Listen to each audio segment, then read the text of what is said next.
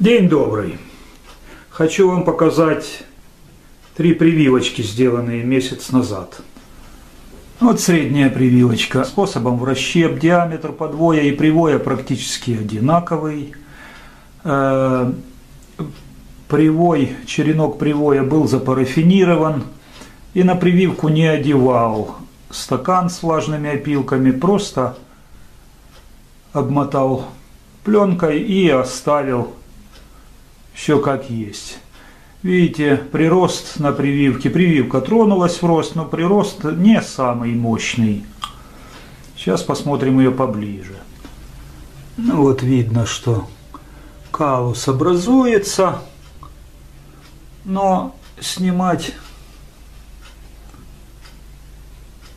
обвязочку еще рано.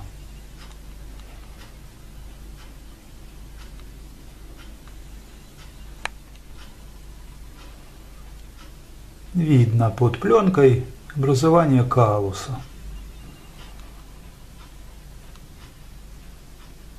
Следующая прививка слева.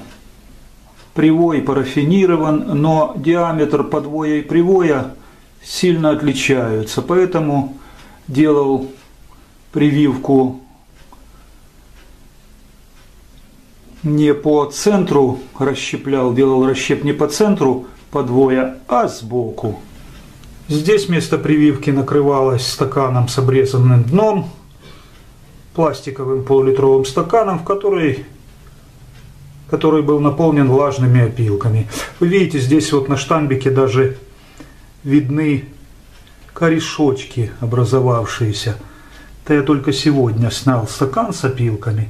Ну, корешочки эти мы обломаем, обломаем, уберем прививка работает, растет нормально.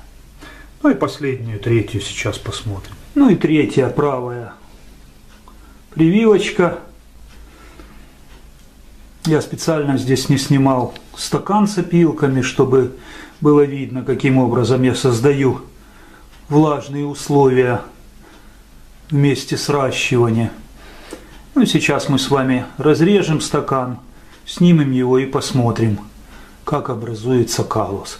Это, конечно, малая-малая часть виноградных саженцев, которыми я здесь занимаюсь. Основные саженцы в школке на даче будут высажены. А здесь, конечно, все делается для того, чтобы снять видео в квартире, вот, и чтобы не скучать длинными зимними вечерами. Сейчас мы снимем стакан и посмотрим, как у нас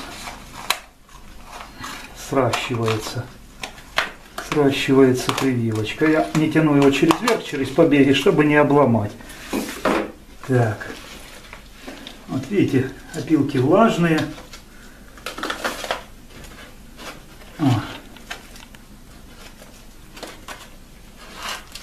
Ну вот.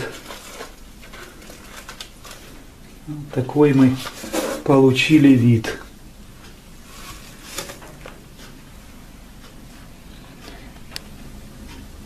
Вот стакан я обрезал.